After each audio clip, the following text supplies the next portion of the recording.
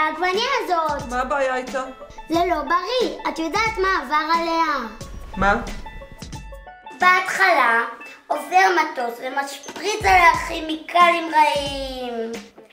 ואז שמו בה חומרים רעילים כדי שהיא תיראה יפה יותר. ואז היא חיכתה מלא מלא זמן בסופר. אבל ירקות בריאים זה יקר. אפשר לקבל סל עם ירקות, וזה עולה רק 90 שקלים. זה לא יקר. ואיפה קונים כזה סל? ברור שבקיימה אפשר לקבל את זה ישר עד הבית או לנקודת איסוף. מה זה קיימה? חווה של ירקות בריאים עם החם. מה? החם! ערך חברתי נוסף. מאיפה הבאת את זה? מעתה קיימה היא חווה המגדלת ירקות בשיטות אורגניות, ובה עובדים בני נוער שלא מצאו את עצמם במסגרות החינוך. פיו פיו פיו פיו פיו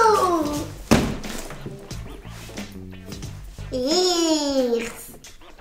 מה עכשיו? אני בכלל לא אוהבת עגבניות.